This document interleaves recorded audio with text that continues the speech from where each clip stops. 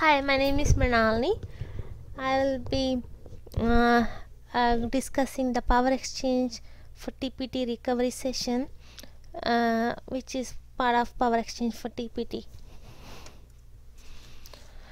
So the agenda for this video would be mm, the requirements for setting up a power exchange for TPT recovery session. So the session must contain a power exchange for change data capture source. Then the mm, the session uh, needs to use a TPT target with a stream operator and there is additionally there is a custom property which is required which is called the TPT recovery model which needs to be set to S in the session properties or globally it can be set in the power center integration service the profile of the informatica server needs to have this environmental variable set to 1 on unix thread on off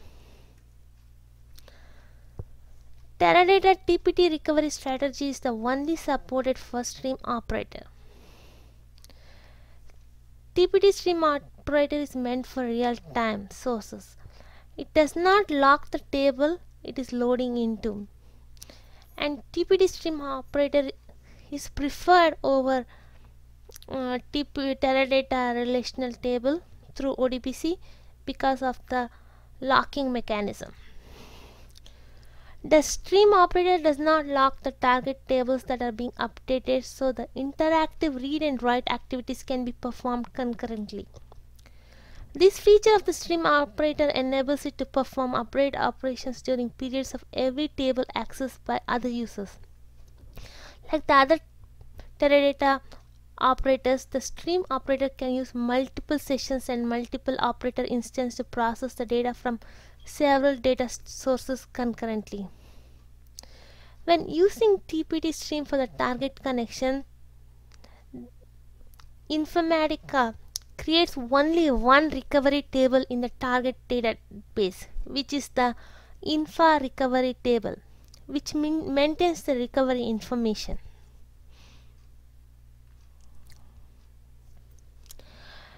So to demo this uh, session, we'll go to the session properties of the CDC session and the TPT stream operator. As we see, this Informatica session in the workflow manager contains the CDC source, which is the change data capture real-time source. When we say real-time source, this session would run continuously there will be no stop on the session after the data load. This session would run continuously. CDC source is a real-time source where the change data are being pulled by the source continuously. The session will be running and the data will be moved to the targets. As said uh, for recovering this real-time session um, the best approach would be using with the Teradata integration is used to is Teradata TPT connection with the stream operator. So when we set the Teradata TPT connection as a target with the stream operator it gives the advantage of no locking for a real-time session the commit is uh, decided by the source. The commit type is the source.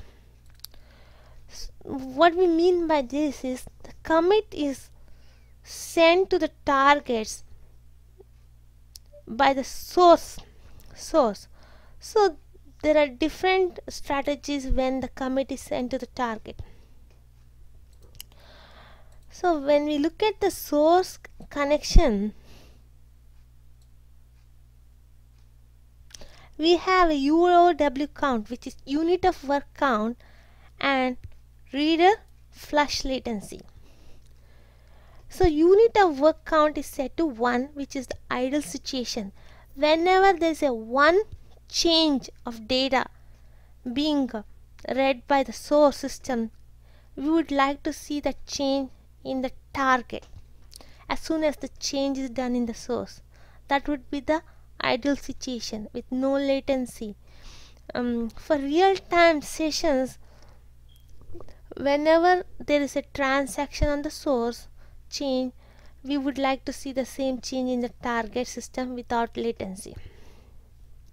So UOW count 1 means for every one transaction one transaction read by the source system issue a commit to the targets so it's a OR condition between UOW count and the real-time flush latency.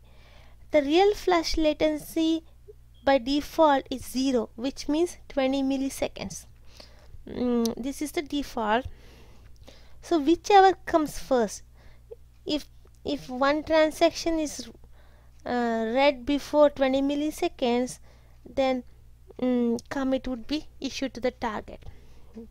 When a commit is issued to the target uh, Teradata gets a checkpoint and this checkpoint is recorded in the in a log table so so there is a log table for every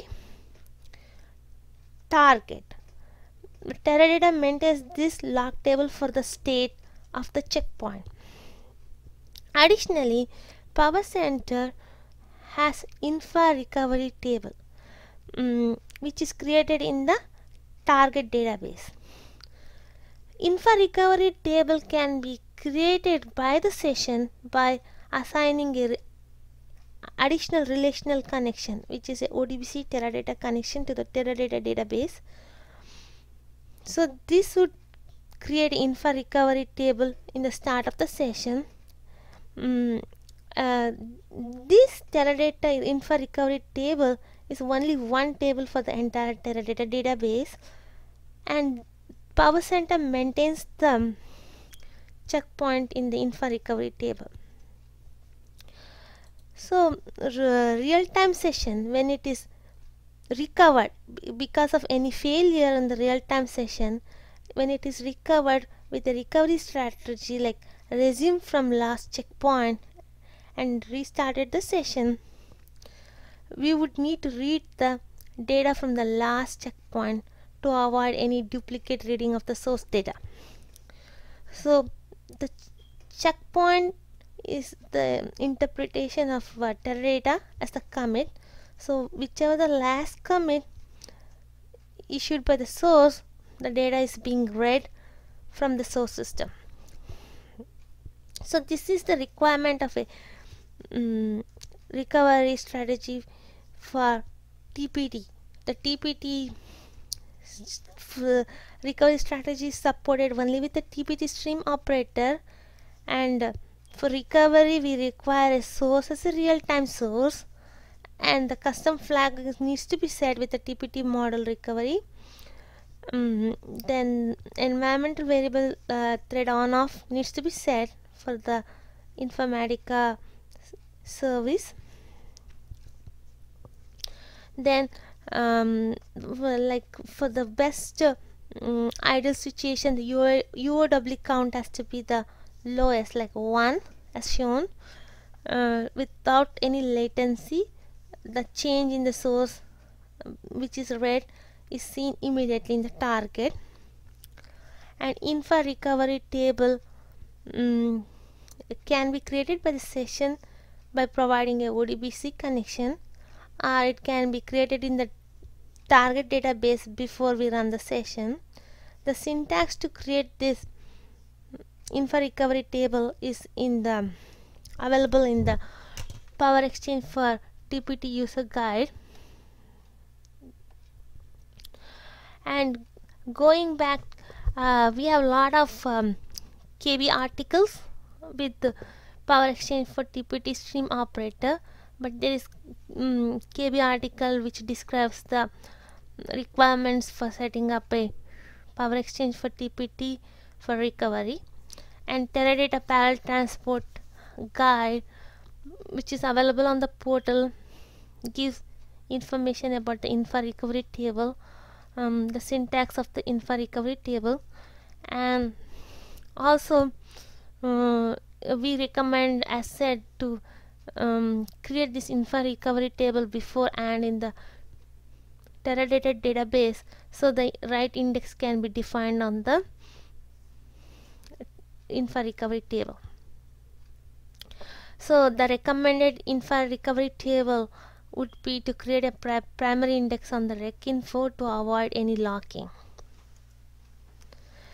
So we would like to hear from you on this video content. You could email back on the support videos at informatica.com or um, uh, our twitter um, info support.